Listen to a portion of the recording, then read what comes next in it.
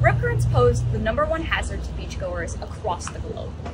Rip currents create significant force and can easily suck a swimmer out of a pass into open water in a matter of seconds. Rip currents are strong, narrow flows of water which extend away from the beach.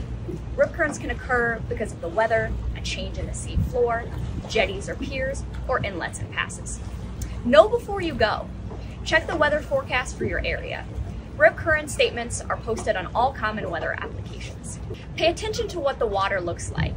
If you see a patch of calm water in the middle of breaking waves, that's a rip current.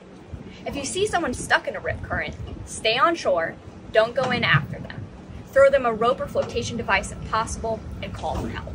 If you do decide to attempt a water rescue, make sure you go in with a flotation device for yourself and for the other person.